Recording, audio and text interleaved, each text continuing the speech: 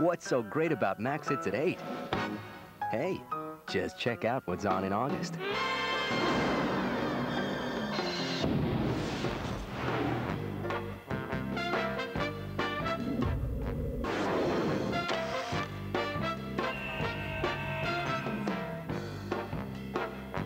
Max Hits at 8, a different movie every night of the year.